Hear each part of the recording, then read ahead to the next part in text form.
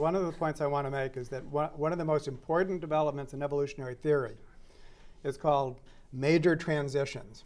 And what major transitions tells us is that as amazing as it might seem, that the individuals of today are the social groups of past ages.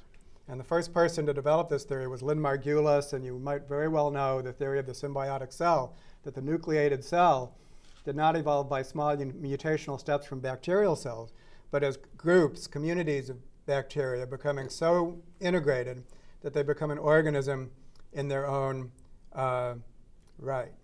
And much more recently, I think what's emerging, which solves a lot of problems about our human uniqueness, is that human evolution represents a major transition.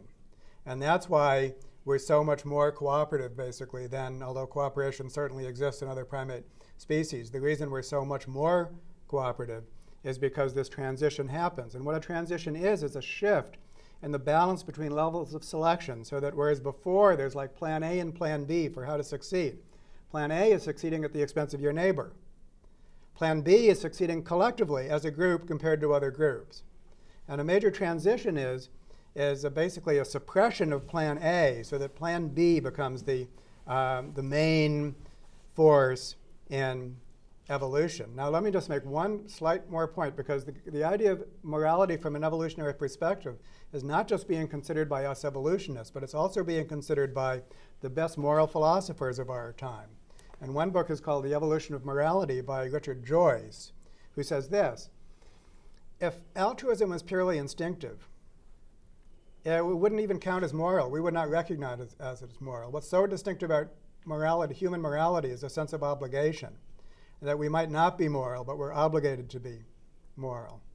And so that sense of human obligation, of kind of being locked into a system in which, uh, in which you're held accountable and other individuals make sure that you're accountable, that goes beyond instinctive altruism.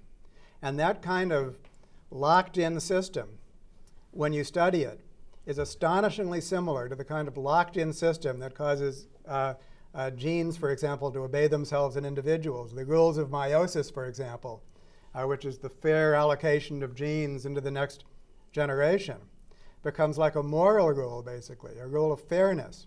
And so the isomorphism between a human moral system in this more sophisticated sense, beyond instinctive altruism, and the kind of regulatory systems which cause individuals to function well precisely because selection from within has been foreclosed is astonishing.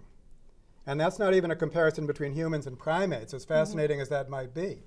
That's a comparison between humans as a product of a major transition compared to other major transitions way back in the history of life.